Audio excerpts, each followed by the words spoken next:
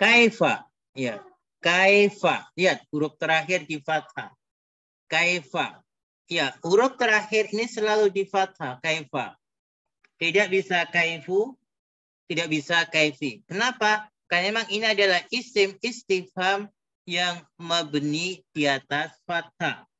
Isim istifham yang selalu di fathah. Dia tidak bisa di doma, tidak bisa di kasor. Terus kaifa. Kaifa artinya bagaimana. Ini isim istifham untuk menanyakan keadaan. Ya.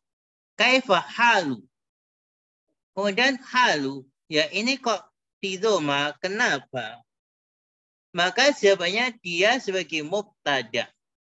Dia mubtada yang diakhirkan.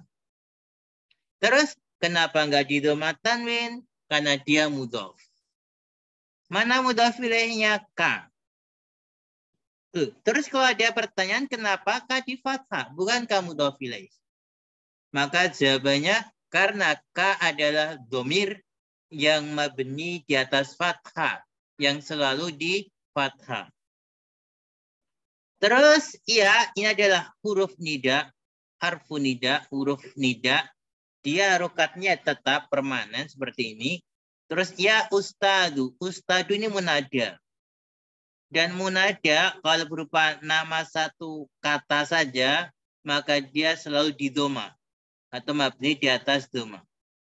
Kemudian tadi kita katakan halu sebagai mubtada. Mana khobarnya? Khobarnya adalah kaifa. Kaifa ini isim istifham sebagai khobar. Kalau dikatakan dia fi mahali rafin khobarun. Kaifa, bagaimana? Hal, keadaan. Kamu, keadaanmu. Ya, wahai ustadu ustad.